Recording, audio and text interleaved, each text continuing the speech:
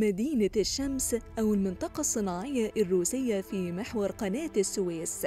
مشروع بين مصر وروسيا بدأ من سنة 2018 المشروع ده قيمته مليارات الدولارات وهيعمل على تحويل محور قناة السويس لمركز صناعي عملاق يوصل الصناعات الروسية للأسواق الإفريقية والشرق الأوسط. يا ترى إيه حكاية المشروع ده؟ ده اللي هنعرفه هنا في خمسة بالعربي. مدينة الشمس. مشروع بيتخطط له إنه يكون مركز صناعي كبير للشركات الروسية وده معناه إنه هيسمح لروسيا بإنها تنشئ مصانع على أرض مصر وتستفيد من الموقع المميز لقناة السويس للوصول للأسواق الإفريقية والشرق أوسطية بكل سهولة.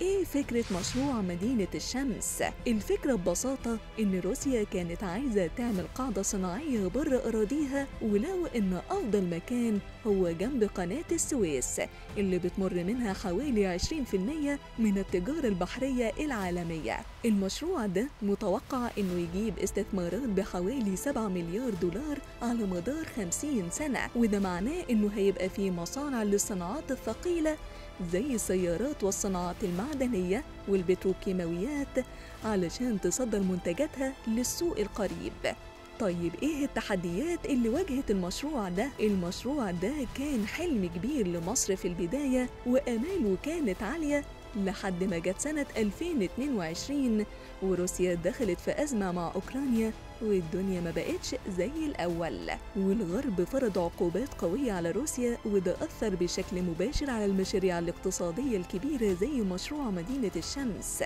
العقوبات دي كانت تعني إن التمويل بقى أصعب وإن نقل التكنولوجيا اللازمة بقى فيه مشاكل كتير. وبعض البنوك الروسية تراجعت عن التمويل ومصر كانت خايفة تتورط في مشروع كبير زي ده وتتعرض لضغوط دولية. علشان يقدروا يكملوا المشروع مصر وروسيا قرروا يعدلوا الاتفاقية ويلاقوا حل للتحديات اللي واجهتهم.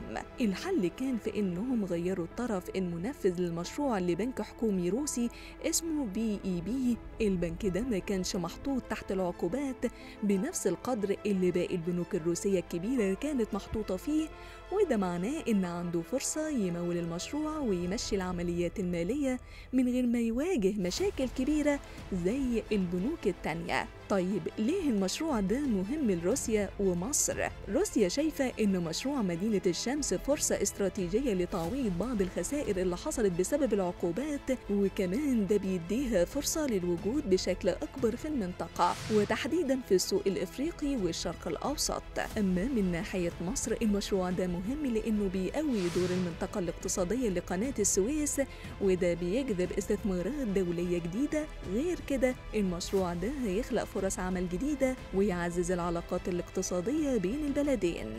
بس لسه برضو العقبات موجودة رغم التعديلات والتطويرات اللي حصلت إلا إن المشروع لسه قدامه تحديات كبيرة لأن العقوبات الغربية ممكن تتوسع وتشمل بنك في إي بي نفسه وساعتها تبقى الأمور صعبة تاني. كمان روسيا محتاجة توفر التمويل والتكنولوجيا لإنشاء المصانع وتطوير البنية التحتية ودي مشكلة كبيرة. خصوصا إن الشركات الغربية مش هتبيع لروسيا المعدات والتكنولوجيا بسهولة بسبب العقوبات. هل مشروع مدينة الشمس هينجح؟